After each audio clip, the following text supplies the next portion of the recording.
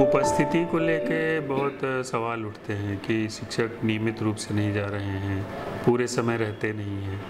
और इससे भी बड़ा जो इससे बड़ी जो समस्या है वो ये है चुनौती है वो ये है कि जितनी देर स्कूल में रहते हैं उतनी देर पढ़ाई लिखाई का कामकाज होता है कि नहीं। करते क्या हैं? करते क्या है? स्कूल में उपस्थित रहना और पढ़ाई लिखाई होना दो अलग अलग चीज़ें हैं। और बच्चे को कितना सिखाया जा रहा है या बच्चे कितना सीख पा रहे हैं, अंततः वह सबसे महत्वपूर्ण है। एक बात। दूसरी बात यह है कि जो इनकी उपस्थिति है, नियमित उपस्थिति है, इसके लिए हम टेक्नोलॉजी की मदद से ही कुछ उपाय कर सकते हैं। निरीक्षण की एक सीमा है। निरीक्षण पे हमारा बल है। स्कूलों का निरीक्षण ज़्यादा से ज़्यादा हो, इसके लिए लक्ष्य निर्धारित हैं सभी स्तर के लिए। और उसको निरीक्षण रिपोर्ट को ऑनलाइन अपलोड करने की भी व्यवस्था है, वो भी हो रहा है। वो सब हो रहा है, लेकिन हमारा ये सोचना है कि जब हम इसको टेक्नोलॉजी से जोड़ देंगे तो हमें रियल टाइम डेटा मिल सकता है। उदाहरण के लिए अभी हम लोग एक प्रोजेक्ट पे काम कर रहे हैं और बहुत जल्दी वो सामने होगा। कि हर स्कूल को एक स्मार्टफ़ोन या टैबलेट देंगे जो पूरे प्रदेश के सारे स्कूलों जी।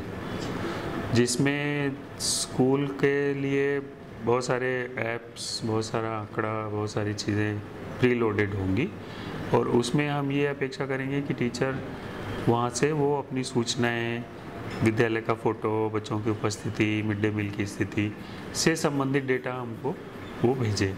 ऑनलाइन देता रहेगा। ऑनलाइन आता रहेगा। तो उसमें ये भी आएगा कि अगर नेट कनेक्शन नहीं है तो ऐसा नहीं है। जब भी आप आप पहले उसको कैप्चर कर लीजिए फ़ोटो ले लीजिए या उसमें फ़ीड कर दीजिए फिर जब आप नेटवर्क में आएँगे तो वो डेटा अपने आप ट्रांसमिट हो जाएगा। तो जब रियल टाइम मॉनिटरिंग होने लगी तो मुझे लगता है इससे फ़र्क पड़ेगा। अ, मैं समझता हूँ कि अ, एक तो निरीक्षण पे हमारा बल है निरीक्षण किया जाए। दूसरा टेक्नोलॉजी की मदद।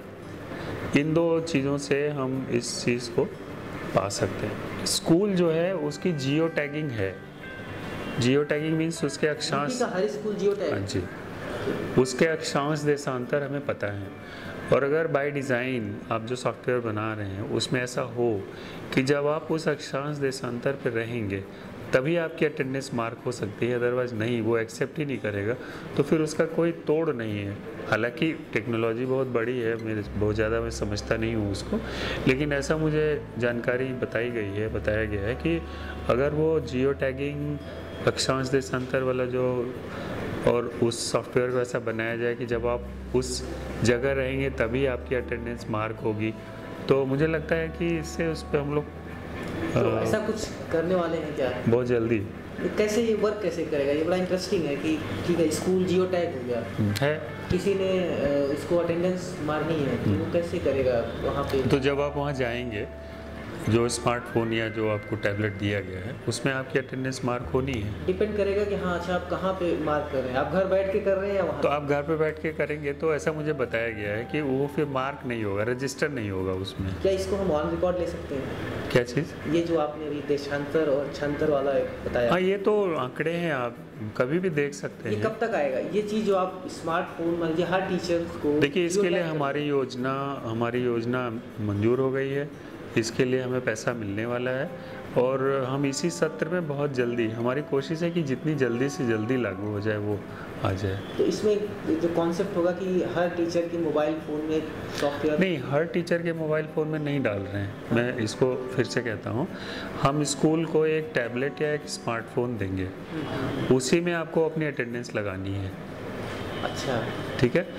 और उस स्मार्टफ़ोन में जब आप अपना अटेंडेंस लगाने की चेष्टा करेंगे तो वो उसके लेटीट्यूड लॉन्गिट्यूड से बंधा हुआ है। जब आप उस दायरे में रहेंगे, तभी वो मार्क होगा। अगर नहीं वहाँ पे है तो फिर वो मार्क नहीं होगा। ऐसी कुछ व्यवस्था है जो हमारे टेक्नोलॉजी वाले एक्सपर्ट्स हैं, वो बताते हैं।